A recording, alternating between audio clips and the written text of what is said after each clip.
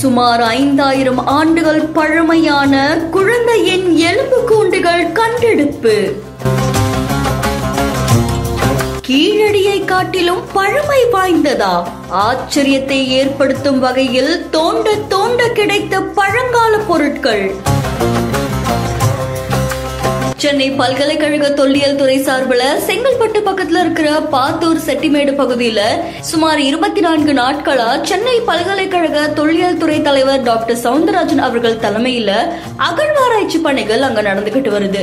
இந்த நிலையில புதிய கற்காலத்தை சேர்ந்த ஒன்பது முதல் பதினோரு வயதுள்ள குழந்தையோட எலும்பு கொண்டு கண்டெடுக்கப்பட்டிருக்கு அப்படின்ற தகவல் ஒண்ணு வெளியாகிருக்கு இந்த எலும்புக்கூடு தோராயமா ஐந்தாயிரம் ஆண்டுகள் பழமையானதா இருக்கும் அப்படின்னு சொல்லப்படுது. தமிழ்நாட்டுல முதல் முதலா முழு எலும்பு கூண்டு கிடைச்சதா தொல்லியல் துறை அதிகாரிகள் தகவல் தெரிவிச்சிருக்காங்க. இந்த பகுதி கீழடியை காட்டிலும் இன்னும் பழமை வாய்ந்ததா இருக்கலாம் அப்படின்னு தெரிவிக்கப்படுது. தோண்டப்பட்ட இந்த இடத்துல இருந்து பண்டை கீரல் உள்ள பானை ஓடுகள் அதுக்கப்புறமா சுட்ட மண்ணால் செய்யப்பட்ட காதணிகள் இரும்பால் செய்யப்பட்ட வில்லினுடைய முனைன்னு இன்னும் பல பழமையான பொருட்களை எடுத்திருக்காங்களாமா? சுமார் ஒன்னு புள்ளி எண்பத்தி ஆறு மீட்டர் ஆழத்துல பழங்கால பொருட்கள் கிடைக்க பெற்றது அப்படின்னு சொல்லப்படுது. தொடர்ந்து இன்னும் பல பழங்கால பொருட்கள் கிடைக்க வாய்ப்பு இருக்கு அப்படின்னு சொல்லி அகழ்வாராய்ச்சி பணியில ஈடுபட்டிருக்கிற தொல்லியல் ஆய்வாளர்கள் தெரிவிச்சிருக்காங்க. இப்போ இங்க கிடைச்சிருக்கிற எலும்புக்கூடுகளை வச்சு டிஎன்ஏ பரிசோதனை செய்ய போறாங்க அப்படின்ற தகவலும் சொல்லப்பட்டிருக்கு.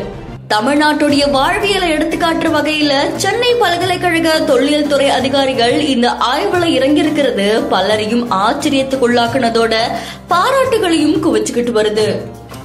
அவர்கள் பயன்படுத்திய பொருள்கள் போன்ற பல்வேறு பொருள்களை நாங்கள் அந்த அகழாய்வில் சேகரித்தோம். இதன் கண்டுபிடிப்பு தொடர்ந்து கடந்த ரெண்டாயிரத்தி இருபத்தி மூணாம் ஆண்டு இருபத்தி ரெண்டு இருபத்தி மூணாம் ஆண்டு நெரும்பூர் என்ற இங்கிருந்து ஒரு பதினைந்து கிலோமீட்டர் தொலைவில் நெரும்பூர் பாலாற்று ரிவர் பேஷன் அதாவது பாலாற்று படுகையில் நாங்கள் நெரும்பூர் என்ற இடத்தில் அது அயன் ஏஜ் என்று சொல்லப்படும். குறிப்பாக மெகாலித்திக்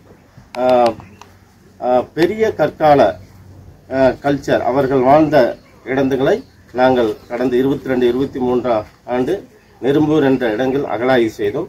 அங்கேயும் குறிப்பாக பல அரிய பொருட்களை இந்த அக அந்த அகழாய்வின் மூலமாக நாங்கள் எடுக்கப்பெற்று அதன் அது பலருக்கு பேருதவியாக இருந்தது.